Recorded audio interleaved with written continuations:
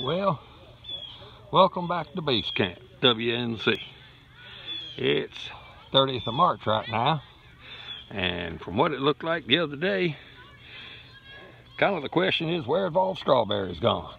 Well, had a good group Wednesday, it's Saturday today, and two of the three fields are shut down.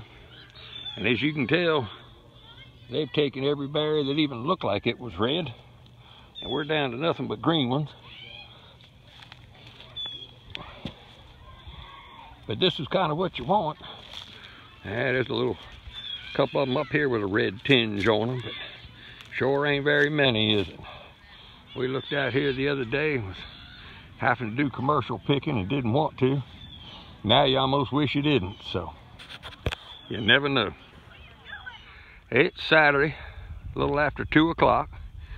Um, I just got back here at the farm. It's uh, Wednesday was the first pick and play day for the farm, which means the schools are out half day and they advertise on Facebook for what that's it's a it's great social media don't get me wrong but according to facebook we had 7,000 people showing up but somehow they got lost between getting here but on Wednesday, they had to shut the field down at 2 o'clock because everything was picked over. Now, everything out there alongside the road is one field. This is a field, and we'll take you over. Far side of this woods is the third field, back on the other side here, is for all the U-picket operations. There's some field, two fields in the back that are all wholesale. Um, but they had to shut down at 2 o'clock because of the amount of people and they picked over all the fields. Uh, today's Saturday and they just don't want to run people out. They came all the way here, but basically everything's picked out again. And then this coming Wednesday is starts the first school field trip, so they got to do some magic praying over the strawberry fields and hopefully things get going here pretty good but weather's supposed to turn off, be cool again. Um, but we're gonna walk around because I'm leaving Monday morning to head up to the mountains, work on a water project that I'll bring to you. But uh, let's pan around here. This is all cauliflower, cabbage, broccoli. Like I said, this was the first planting down to here. That's the second planting. And uh, squash, everything is going in that field. And of course, sweet corn on the far end. It should be up. We'll walk down there and take a look at it. But uh, we really thought about it. Planted 70 acres. Actually, you can't really see it too much on this phone, but right past this green strip. Planted 70 acres back in timber back there. And we were really concerned about maybe just clearing it up Farmer Walter really didn't want to. This year, social media, like I said, we wanted, last year we picked about 50% U-pick and 50% we had to get picked and move wholesale and do everything else. This year we were hoping to try to get it up to about 80% of U-pick because that's where all the money is. I mean, you're not paying pickers, you're not paying for packers, you're not hauling around, you're not buying cardboard boxes and plastic clamshells. People show up, you better have something for them to pick. And it was a mountain of people here. A couple times they had two registers open in the stand and there was anywhere from 75, 80 people standing in line trying to get to the register. So, so far it's been pretty good. It'll slow down a little bit in the next couple weeks because it'll get warm and stay warm. And most people don't mind coming and picking in a long sleeve shirt, but when they start sweating, that kind of cuts it down and then they just want to come to the stand and buy them. Well, let's walk over, take a quick gander at the uh, blackberries and let's see what they're doing. We're gonna walk around here, look at the corn, that other strawberry field, take a hit in the greenhouse because then I'm gonna be gone for a week. Well, here it is. This is the earlier uh, bearing variety. As you can see right here, they're starting to blossom out. These are all thornless blackberries. I've said it quite a few times. They're grown under the protocol. If you want to really know how to grow them, so far it's really worked for us, is uh, Arkansas University slash Blackberry School. It's on YouTube. They got like 26 episodes and videos from planting, picking it out, the arbors, the trellises, how to wire them up, how to prune, how to do everything. And that's kind of the protocol we're following. But uh, it is the last of March right now, and they are starting to bloom. You can see there, these are popping out. All the other ones here ready to go. So this is the early and earlier variety. The ones on the other end haven't even started yet. They'll be a couple weeks later. And we'll see what the rest holds. Well, here it is. We got some sweet corn this year. If anybody goes back to the episode last year on all my films about this time, we listened to the John Deere man that I guess he's a salesman. He sure ain't never been a farmer, but it would plant four, five, six seeds and skip three foot plant them a foot apart, but you can actually see them starting to shine out the row. We got them about every six, eight inches all along. So it actually looks like a cornfield this year. And uh, this is the first plant in the corn.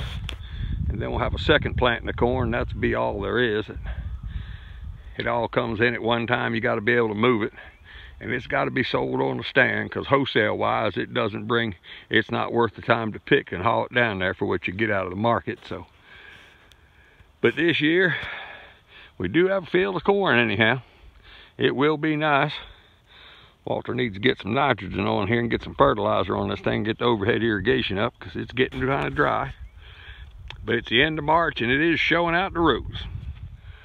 well it's all bedded up this will all be squash down here.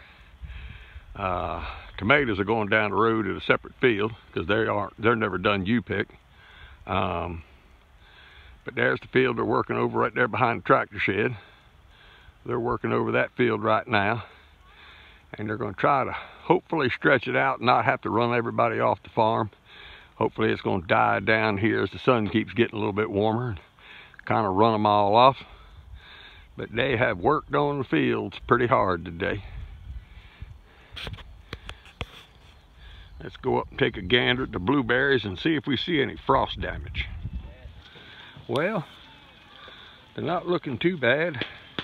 This is the variety that we were worried most about. They were in blossom and late bloom when all that frost and freeze and burning hay bales and everything. But these right here look like they're gonna they'll make some berries. This is all one variety. We got another variety of blueberries that weren't even bloomed out then. But looks like we'll scave the process this year on. It's a little bit later variety. And you can see the ones that were out are okay. These here are dead and gone. They were really small when that, that frost hit. And that section right there is all gone. But as you can see, they're setting some more out still. So hopefully all in all, we'll have some berries this year. Last year we had about a half a crop. The year before we lost everything. So everything was killed in the frost. So at least this year we'll end up with something out of it. See, in less than a week, here comes all the okra up and they're all planted two, two to a cell. Over here's all the tomatoes they transplanted for the a little bit bigger thing for the garden to be on. Here's all the tomatoes that'll be sitting out. All okra back here. He loves to mainly raises okra to keep the guys busy a little bit later on in the summertime and give them something to do. That's not a you picket type operation. And then back here in the other greenhouse is all the squash. And hopefully with the strawberries being so packed up, they're ready to go. So hopefully next week they'll get all this stuff in the ground.